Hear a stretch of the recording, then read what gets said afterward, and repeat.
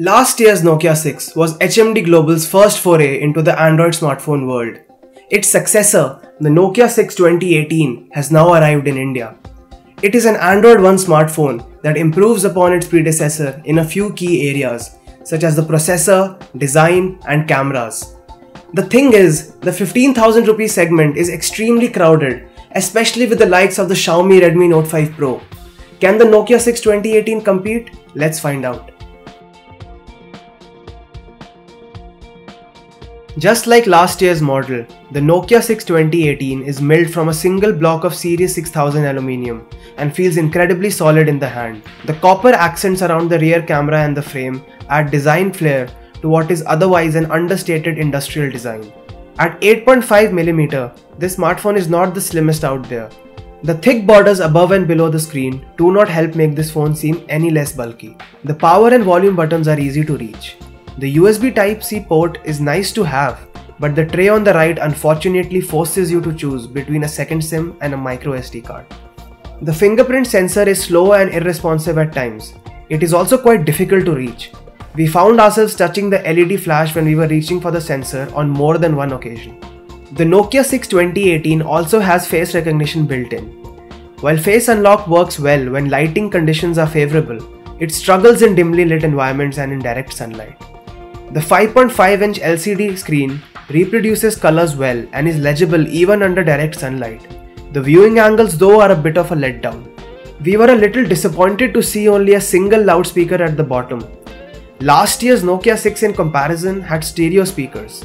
The quality of sound is average and it is easy to block it with your palm when you are using the phone horizontally. The bundled earphones are strictly average as well and we recommend an upgrade if you're going to use this phone to listen to music. On the inside, there's a fairly powerful Snapdragon 630 processor. There is only one variant with 3GB of RAM and 32GB of internal storage, which is priced at Rs 16,999. The onboard storage can be expanded using a microSD card. Thanks to the powerful internals and the stock build of Android, day-to-day performance is great. The phone also handles heavy games like Asphalt 8 without any dropped frames or stutters. We are pleased to report that the Nokia 6 does not get very hot even while playing resource intensive games. In our experience, call quality was excellent. Calls were clear and crisp and 4G connectivity was good even in areas known to have spotty network reception. Being an Android One smartphone, the Nokia 6 runs on a completely stock build of Android 8.0 Oreo with no preloaded third-party apps. There are a few Nokia additions on board though, like Glance Screen which displays notifications for missed calls, alarms, and unread mails and messages on the lock screen. HMD Global has promised that the Nokia 6 2018 will be updated to Android P this year, as well as Android Q in 2019. Before we continue, don't forget to subscribe to our channel and hit the bell icon to be notified when we have new videos for you. HMD Global has used Zeiss optics for the Nokia 6 2018's rear camera, but sadly, this does not help low light performance. Shots taken by the 16 megapixel rear camera in low light have a fair bit of noise and lack detail. Autofocus also struggles in unfavorable lighting conditions. That said, in adequate light, the camera performs quite well. It manages to get the exposure right most of the time and captures a lot of detail. Color reproduction, however, is not the phone's strong suit.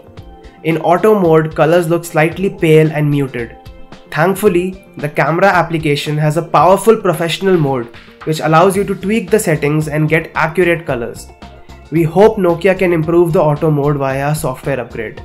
The 8 megapixel front camera performs well when the lighting conditions are good and is actually a cut above the front camera found on last year's Nokia 6.